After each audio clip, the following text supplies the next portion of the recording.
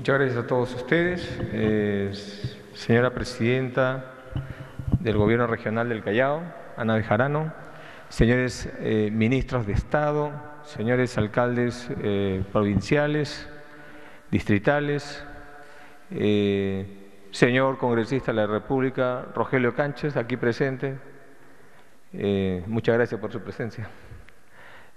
hoy día estamos celebrando un nuevo Consejo de Ministros descentralizado, ahora con la eh, provincia constitucional del Callao, el gobierno regional del Callao, en el cual, como hemos venido haciendo la, misma tónica con todos los eh, gobiernos regionales con los que hemos venido celebrando ya más de 16 consejos de ministros descentralizados y vamos a seguir avanzando, es establecer eh, compromisos mutuos es decir, como gobierno, comprometernos eh, en una visión multianual de presupuestos de inversión que vamos a hacer para avanzar en lo que es el desarrollo eh, del Callao.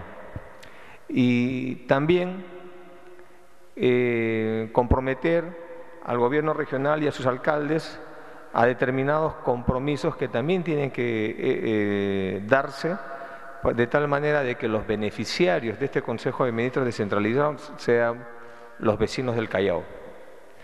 Aquí, como en todos los consejos de ministros, lo señalo, no hay eh, colores partidarios, simplemente todos nos ponemos la camiseta del Callao y a sacar adelante sus proyectos.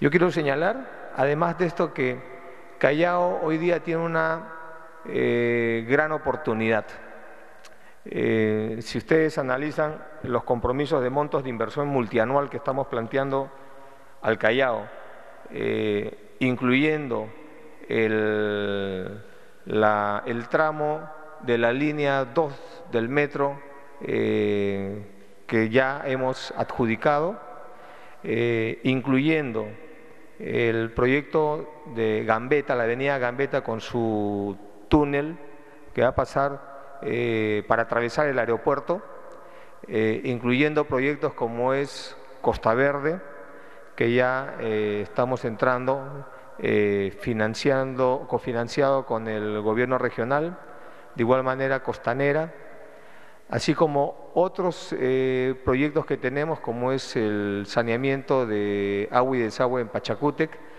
Estamos hablando en cifras redondas de aproximadamente eh, 8 mil millones de soles. De eso estamos hablando.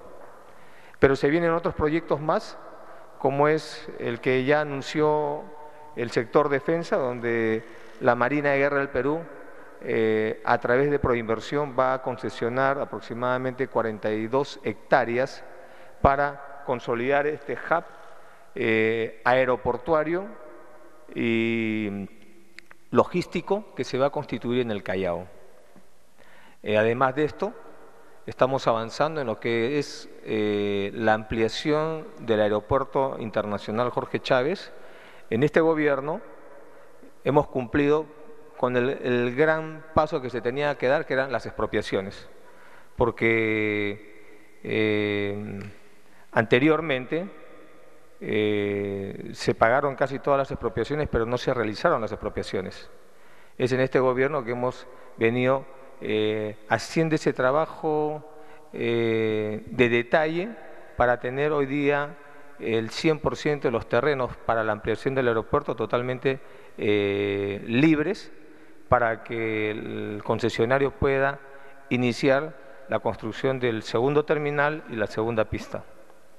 Muy bien, quiero señalar también que dentro de los compromisos que nosotros vamos a exigir al gobierno regional del Callao es que luchemos juntos en el tema de la seguridad ciudadana. Eh, necesitamos hoy día darle tranquilidad a la población del Callao. Y en esto vamos a trabajar juntos, vamos a eh, eh, potenciar, fortalecer las comisarías que hay en el Callao, vamos a eh, aprovechar eh, la, cercanía con Lima para eh, apoyar lo que es el patrullaje, la vigilancia, pero que tenemos que trabajar juntos. Necesitamos que el cuerpo de serenazgos que tiene el Callao también coordine con la policía. Necesitamos más videocámaras de vigilancia. Entonces, hay temas que nos competen a ambos.